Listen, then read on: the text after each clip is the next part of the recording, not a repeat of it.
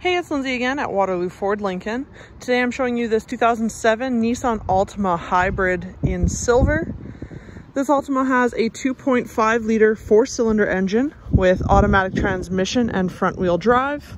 On this car you have halogen headlights with alloy wheels. It does come with keyless entry and seats a total of five passengers with two in the front and three in the back. Around the back end you do have rear defrost as well as a power release trunk. Obviously not going to be able to cover everything about this car in this short video. So if you have any further questions, please get in touch at waterlooford.com or come stop by our dealership at 11420 107th Ave Northwest in Edmonton, Alberta. In the meantime, to stay up to date, make sure you like us on Facebook, follow us on Instagram and Twitter, and subscribe to our YouTube channel. Now let's take a look inside.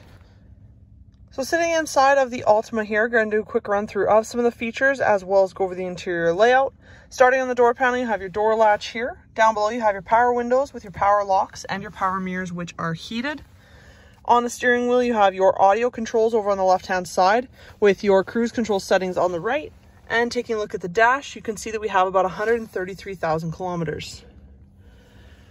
Moving off to the right, you have your push start ignition here. Uh, you have your hazard lights up top below your three center vents.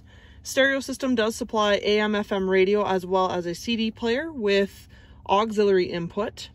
Down below that you have your dual zone electronic climate control complete with um, heated seats for both the driver and the passenger. Down below just by your shifter.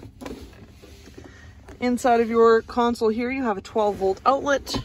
Then you have your gear shifter with three cup holders here in the middle and then you have your dual level center console with another 12 volt outlet.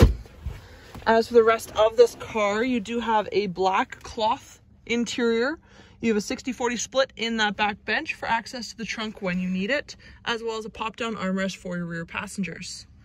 Once again, if you have any further questions about this Altima, please get in touch with us at waterlooford.com. My name is Lindsay, and thank you for watching.